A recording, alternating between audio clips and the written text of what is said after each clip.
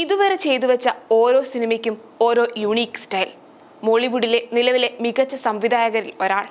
വിമർശനങ്ങളോട് നേരെ നിന്ന് പോരാടുന്നവൻ.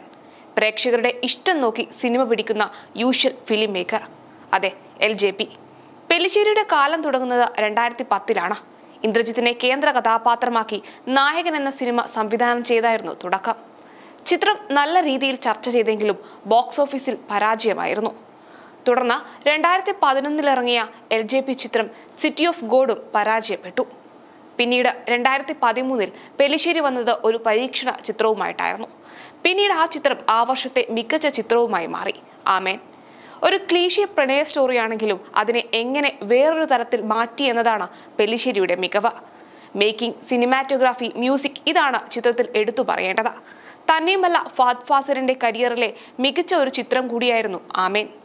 പിന്നീട് രണ്ടായിരത്തി പതിനഞ്ചിൽ അടുത്ത പരീക്ഷണ ചിത്രം ഡബിൾ ബാരൽ ചിത്രത്തെ മറ്റു ചിത്രത്തിൽ നിന്ന് വ്യത്യസ്തമാക്കുന്നത് അവതരണവും വ്യത്യസ്തമായ കാസ്റ്റിംഗുമാണ് ഗാങ്സ്റ്ററുകളുടെ കഥ ഹാസ്യത്തിലൂടെ പറഞ്ഞ ചിത്രം. എന്നാൽ സിനിമ തിയേറ്ററിൽ പരാജയമായിരുന്നു. അതോടെ പല സൈഡിൽ നിന്നും വിമർശനങ്ങളും ഉയർന്നു. അപ്പോഴും പെല്ലിശ്ശേരി പറഞ്ഞത് no plans to change no plans to impress എന്നായിരുന്നു. ആ വാക്കുകൾ വെറും വാക്കല്ലെന്ന് പിന്നീടുള്ള പെല്ലിശ്ശേരി ചിത്രങ്ങൾ കാണിച്ചു തന്നു. അതിനുശേഷം ഇറങ്ങിയ അങ്കമാലി ഡയറീസ് ഈമേയു ജെല്ലിക്കട്ട് ചുരുളി എന്നീ ചിത്രങ്ങളാണ് ലിജോ ജോസ് പെല്ലിശ്ശേരിയെ ബ്രാൻഡാക്കി മാറ്റിയത്. അതിനു കാരണം പ്രേക്ഷകരെ തന്റെ രീതിക്ക് മാറ്റാനുള്ള ഡയറക്ടർ ബ്രില്യൻസ് ഒന്നു മാത്രമാണ്. അതിന് തുടക്കം കുറിച്ച ചിത്രമായിരുന്നു അങ്കമാലി ഡയറീസ്. കഥയല്ല മേക്കിംഗ് ആണ് പ്രധാനമെന്ന് കാണിച്ചു തന്ന പടം. പിന്നീടുള്ള അദ്ദേഹത്തിന്റെ വളർച്ചയ്ക്ക് ഉദാഹരണമാണ് രണ്ടായിരത്തി പതിനെട്ടിൽ ഈമയു എന്ന ചിത്രത്തിന് മികച്ച സംവിധായകനുള്ള സ്റ്റേറ്റ് അവാർഡ്.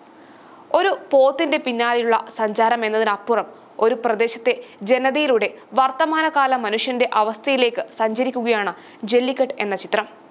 കാസ്റ്റിംഗും ബി ജി എമ്മും ഓരോ സൗണ്ടും വിഷ്വലും മാത്രമല്ല ക്ലൈമാക്സുമാണ് ചിത്രത്തിനെ വ്യത്യസ്തമാക്കുന്നത്.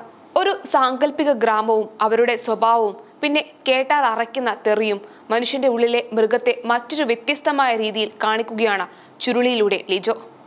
അപ്പോഴും ചിത്രത്തിനെതിരെ വന്ന വിമർശനങ്ങളും വിവാദങ്ങളും ഒരു ചെവിയിലൂടെ കേട്ട് കളയുകയാണ് ലെജോ ജോസ് പെല്ലിശ്ശേരി.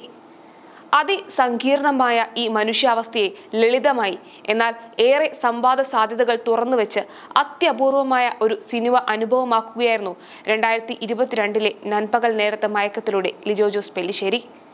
ലോക സിനിമയ്ക്ക് മലയാളത്തിന്റെ സംഭാവന കൂടിയായിരുന്നു മമ്മൂട്ടി എന്ന നടൻ അഴിഞ്ഞാടിയ ചിത്രം.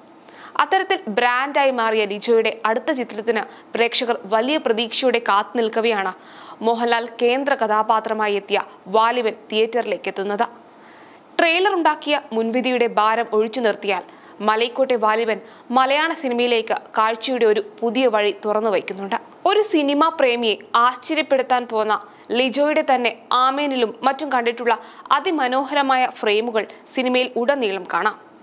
മോഹൻലാലിനെ പോലെ ലോകമെമ്പാടും ആരാധകരുള്ള ഒരു മഹാനടനെ സ്ക്രീനിൽ കാണിക്കുമ്പോൾ കുറെ കൂടി ആരാധകരെ ത്രസിപ്പിക്കുന്ന കനമുള്ള ബീജിയം ചേർത്താൽ തിയേറ്റർ ഒന്നടങ്കം കൈയടിക്കുമായിരുന്നിരിക്കാം. എന്നാൽ മോഹൻലാൽ എന്ന താരത്തെക്കാൾ അയാളിലെ നടനെയാണ് ലിജോ കാണിക്കാൻ ശ്രമിച്ചത്. മലൈക്കോട്ടെ വാലിബിന് നേരെ ഉന്നയിക്കപ്പെടുന്ന വിമർശനങ്ങളിൽ കഴമ്പുള്ളതും ഇല്ലാത്തവയുമുണ്ട്. എങ്കിലും മലയാളത്തിന്റെ പതിവ് സിനിമാ വഴികളെ സംബന്ധിച്ചെങ്കിലും ഈ ചിത്രം നവീന പരിശ്രമമാണ്.